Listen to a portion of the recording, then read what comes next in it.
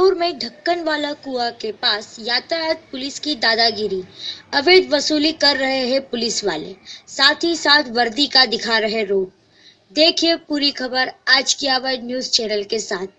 संपादक मनोज से इंदौर। आप ये सरकार के सरकार के ऑर्डर देखिए बिना बिना हेलमेट के वो हम सब जगह चले जाएँगे। जहाँ जाना होगा, हमें हम वहाँ चले जाएँगे। ये देखिए भैया, इंदौर में ढक्कन वाले कुएँ के पास में ये जो चेकिंग लगी है, यहाँ बिना हेलमेट के हज़ार हज़ार रुपए एक्स्ट्रा ले रहे हैं लड़कों से। मेरा अपना परिचय बता देता हूँ। सुधीर सिंह जंगर नाम है।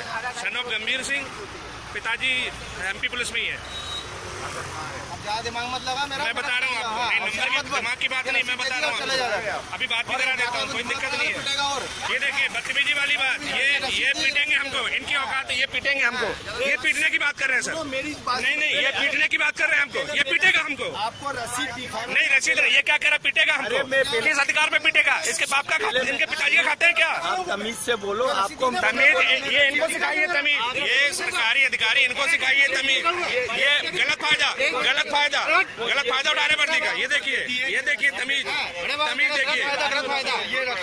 देखिए भाई साहब। ये रसीद हाँ हाँ बेटे ये ये आपने वो धारा लगाई है बता ये पढ़े लिखे को लिखा नहीं पागल पागल नहीं वो पढ़ा लिखा है लड़का। उसको पागल बता रहे हो।